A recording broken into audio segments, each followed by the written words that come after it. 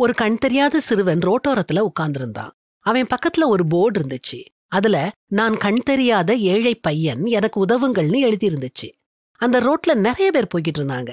ஆனாலும் அவன் முன்னால விரிக்கப்பட்டிருந்த துண்டுல கொஞ்ச நாணயம் தான் இருந்துச்சு. மத்தியான நேரத்துல ஒரு மனிதர் அந்த பக்கமா வந்தாரு. அந்த சிறுவனையும் அவன் பக்கத்துல இருந்த போர்டையும் பார்த்தாரு. சில நாணயங்களை அவனுக்கு முன்னால இருந்த துண்டுல போட்டாரு. அப்புறம் அந்த போர்டுல உள்ள வார்த்தைகளை கொஞ்சம் மாத்தி எழுதிட்டு போனாரு. நிறைய பேர் அந்த போர்டுல உள்ள வாசகத்தை பார்த்து அவனுக்கு உதவி செய்ய முன் வந்தாங்க. கொஞ்ச நேரத்துக்குள்ளேயே அந்த பையனுக்கு நிறைய பணம் சேர ஆரம்பிச்சிட்டது. அந்த சிறுவனுக்கு ரொம்ப ஆச்சரியமாயிட்டுது. ஏன் இந்த திடீர் மாற்றம்? அவனால புரிஞ்சுக்க முடியல. அடுத்த நாள் முந்திர நாள் வந்த அதே மனிதர் அந்த பையன் பக்கம் வந்தாரு.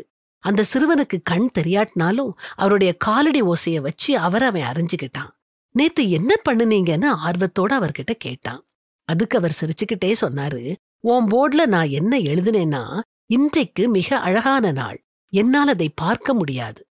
அந்த சிறுவன் புரியாம கேட்டான். நான் எழுதி வச்சிருந்ததுக்கும் நீங்க எழுதி இருக்கிறதுக்கும் என்ன வித்தியாசம்? அவர் பதிலளிச்சாரு. நீ எழுதியிருந்தது உனக்கு கண் தெரியாது அப்படிங்கறத மட்டுமே வெளிப்படுத்துச்சு.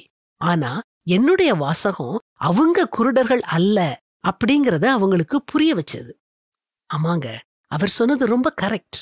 நமக்கு எது இல்லையோ அப்போதான் அதோட மதிப்பு நமக்கு தெரிய வரும்.